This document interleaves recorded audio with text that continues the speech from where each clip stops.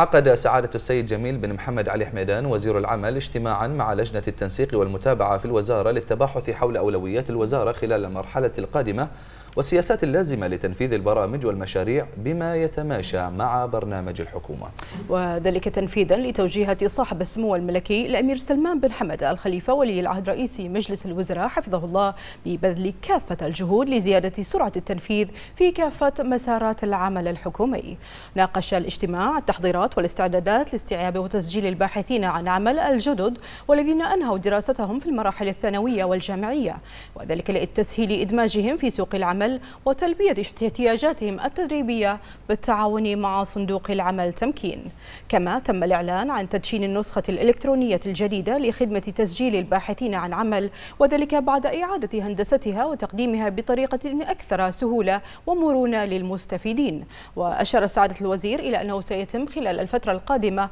فرز الوظائف المتوفرة في بنك الشواغر حسب القطاعات والأنشطة الاقتصادية والتواصل مع أصحاب العمل لتسريع تسكين هذه الشواغر بالخريجين المواطنين الباحثين عن عمل خاصة أن المنشآت يمكنها الاطلاع على السير السير الذاتية للباحثين عن عمل من خلال الموقع الإلكتروني للوزارة واختيار احتياجاتهم من الموارد البشرية الوطنية.